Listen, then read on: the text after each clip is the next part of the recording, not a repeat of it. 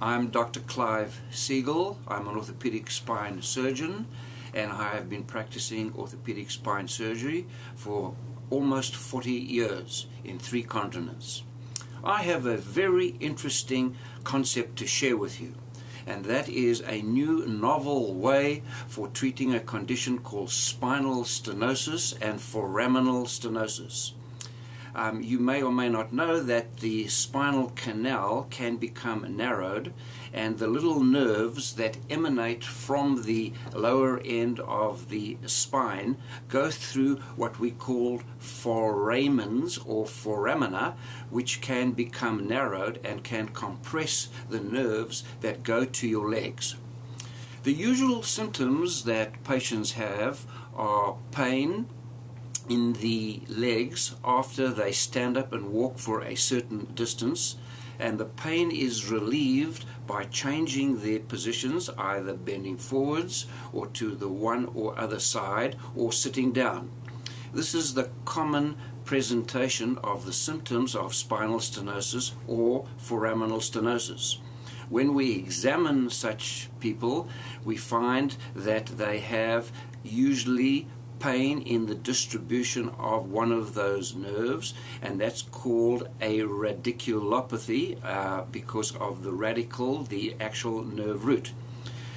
Um, this is sometimes confirmed by an plain x-ray of the spine and in some instances an MRI scan having made the diagnosis and they haven't responded to the usual conservative non-operative treatment like physical therapy, anti-inflammatory medications, they then may become a candidate for a very minor surgical procedure.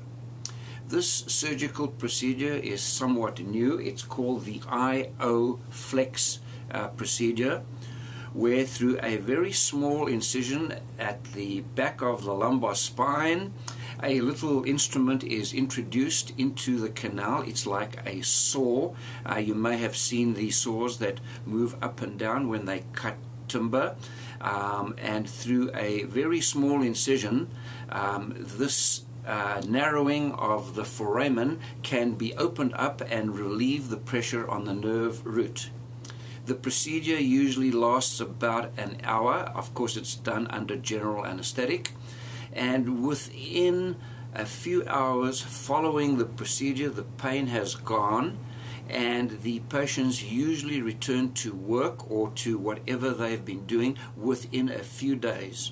This is in uh, opposition to what happens in the older classical operation where a very wide operation is carried out on the spine where a lot of the bone is removed, it becomes unstable. In this instance, stability is maintained and most patients are extremely happy once this has been done.